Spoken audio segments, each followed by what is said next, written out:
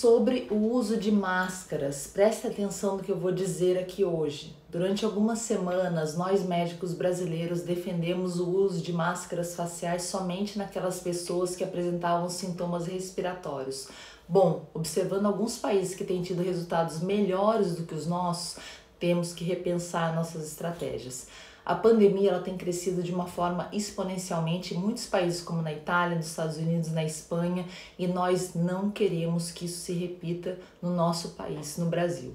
E a República Tcheca é um dos países em que se conseguiu diminuir muito rapidamente a propagação do vírus. Então vamos perguntar o que eles estão fazendo diferente? Vamos tentar fazer o mesmo? O que está acontecendo lá? É claro que eles estão obedecendo o isolamento social e de permanecer em casa aqueles que podem. E é claro que também mantém as instruções de higienização pessoal mais rígida, como lavar as mãos ou de fazer uso de álcool gel quando a lavagem não é possível.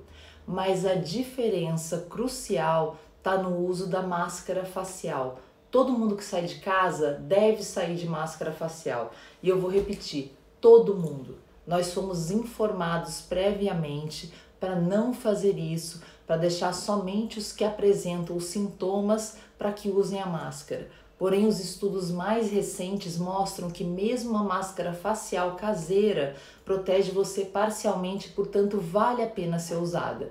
Os perdigotos, que são essas gotinhas que saem da nossa boca enquanto falamos, e os aerossóis, que são as microgotas que se espalham quando a gente tosse ou espirra, podem chegar ainda mais longe do que a gente pensava, levada pelo vento.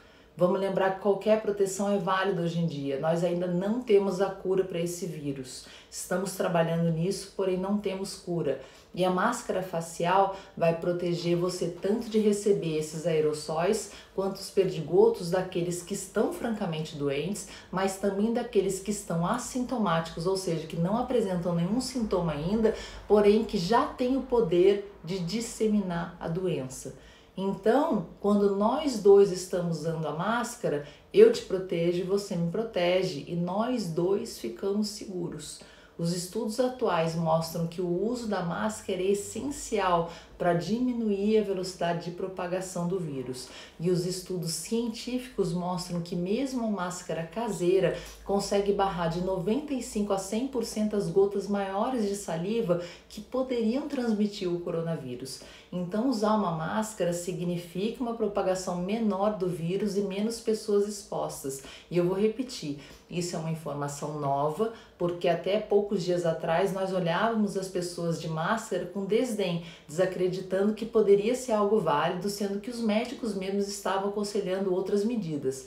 Eu, como médica, preciso ser humilde e voltar atrás. Todos os dias a gente está aprendendo com esse vírus.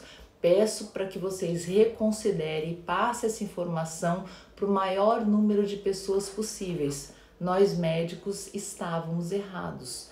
Vá ao supermercado, à farmácia, ao seu trabalho utilizando uma máscara. E vamos lembrar do jargão você me protege, eu protejo você.